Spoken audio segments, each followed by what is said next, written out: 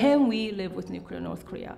We live with nuclear Russia, nuclear China, nuclear India, nuclear Pakistan. Can conventional deterrence and containment work on North Korea? And that's the fundamental question, and that's a key question that Korea watchers are debating right now. North Koreans, I think, ultimately is about regime survival, and they think nuclear weapons is the only way to guarantee their survival.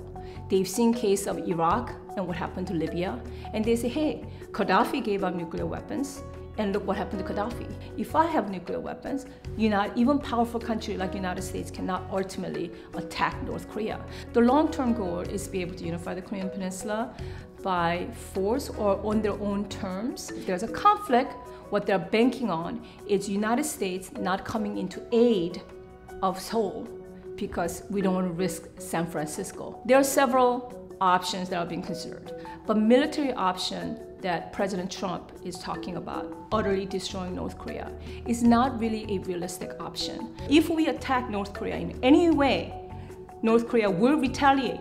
I'm 100% positive that North Korea will retaliate. There's 20 million people living in South Korea, in Seoul. There's 200,000 American expats living in Seoul. In North Korea has over 10,000 conventional artillery pieces that's zeroed in on Seoul. So while we might ultimately win the war, they say about on the first day of war between United States and North Korea, we'll have about a million casualties. One of the solutions is to continue to get information into North Korea. North Korea is one of the most isolated countries in the world um, because ultimately this problem has to be solved by the North Korean people. North Koreans have told their people that their, nu their nuclear weapons is for defensive purpose only, that they must have it because of this hostile force United States is bent on destroying North Korea.